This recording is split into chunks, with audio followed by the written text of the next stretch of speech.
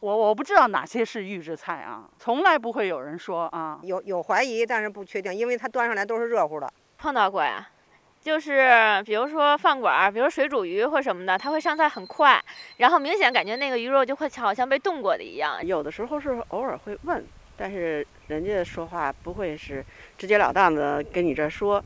呃，你问的是是那种新鲜的或者什么的话，都会。一语带过，或者是含糊其辞的，那么答复你。没有明确告诉的，只能是我们自己吃完了回去慢慢推，或者是想，或者是什么这种的。近日，预制菜话题备受消费者关注。为了获得消费者信任，上海有部分餐饮企业主动打出“没有预制菜”的口号。餐厅里为何要使用预制菜？北京的几位餐饮从业者告诉记者，预制菜在快餐和低端餐厅中比较普遍。使用预制菜虽然不能降低用料本身的成本，但能够降低大量人工与时间成本，而且由于出餐速度变快，能够薄利多销。我这个就是米粉店是这种，你唯一需要就是自己动手去做的部分，可能是发粉。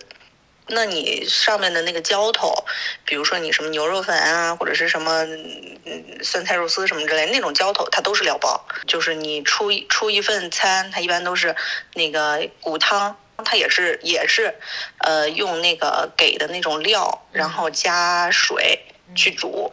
像这种小米疗参吧，嗯嗯，它的疗参它是装在一个袋子里泡发好的，不需要你泡发。嗯，然后呢，调味包是现成的。嗯啊，你需要把这个辽参呢上锅去蒸一下，大概十五分钟之后，你就能够成型的。现在基本外边都是这种料理包的形式，因为第一，北京的后厨比较小；第二，人工也很贵呀，而且出餐也比较慢。用料包这个东西肯定是嗯大势所趋，北京的商场，嗯，你各种限制，他连明火都不让不让动，嗯。他怎么给你炒菜啊？你比如说像我们的这种切配的这种师傅，他们的薪酬待遇基本上都是在六千五到七千之间。嗯，你还要管他的食宿。嗯，那这三个人配下来，一个月的薪酬肯定都是要接近将近三万块钱了。那么，饭店使用预制菜是否会有害健康呢？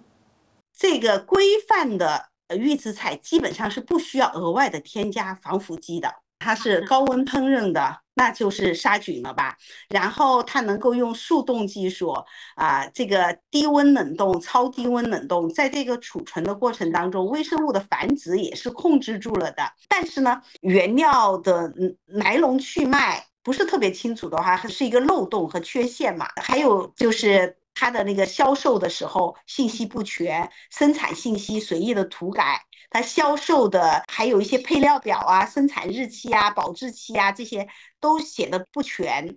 还有就是不能够做到全程冷链，冷链的物流不完善，它包装材料也不是那么的规范。呃，这些都是一些呃食品安全可能出现的问题，还有它仓储问题。就我们拿到那料包的时候，呃，就是它是成箱过来嘛，都会是比如说呃保质期是一年的，它可能已经过了半年了。它那个食材感觉有一点点，就是很不新鲜的感觉。哦哦。但是呢，它放的调味品的味道很重，所以呢，调味品的重味就掩盖掉了那种。重味儿就是不好的品质的味道。它的料包的进货渠道是什么样？是这种大的供应链厂商，还是说就是他自己随便找的那种料包？就这种预制料包，你要是去那种批发市场去找，一堆卖的，嗯，就都有。律师指出，《消费者权益保护法》明确规定，消费者享有知悉其购买、使用的商品或者接受服务的真实情况的权利。因此，商家如果使用了预制菜，有义务主动告知消费者。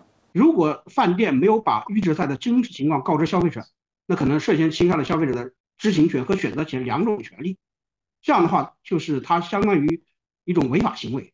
还有一种做法，还有很多可能经营者他公示出来的是说是自己炒制的菜，但是他实际上是使用的是预制菜，那就是更加进一步的是一种违法行为，涉及到欺诈消费者。目前来说，可能还没有一个统一的标准或者规则来。说到底什么样一个程度就是是预制菜，这可能规则需要行业协会或者是主管部门去做一些规范性的立法，或者是确立相应的规则。